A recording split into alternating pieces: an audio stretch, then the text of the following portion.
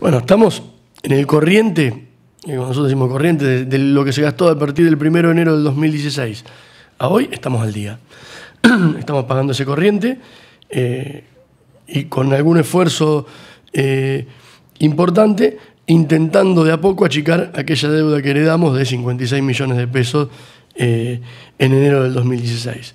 en esa deuda hay gas que se le debe a Camusi, un montón de calling parting pay que le llamamos nosotros, que es eh, el uso de cuando, una, em, cuando un teléfono de acerca llama a otra compañía, la empresa le tiene que pagar a esa compañía, se le cobra al cliente y eso habría que tomarlo y depositarlo en la cuenta de la compañía. eso, generalmente cuando lo llamamos celular, ¿no? Sí, un celular y también a, las empresas de teléfono fijo son distintas las comisiones, pero a todas.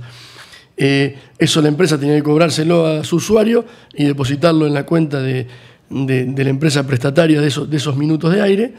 Eh, del 2007 eso no se venía haciendo.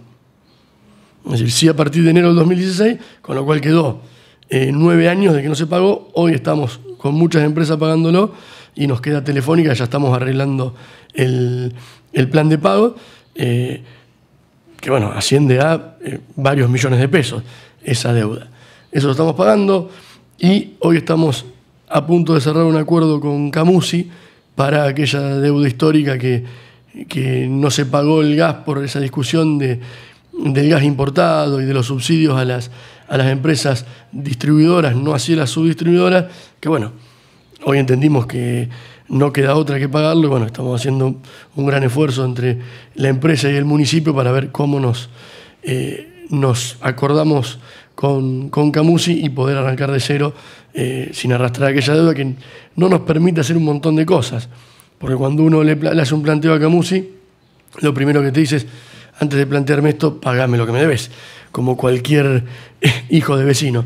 Con lo cual, eh, poder arreglar esa cuestión nos daría la posibilidad de muchas cosas, hasta de liberar la, la cuestión de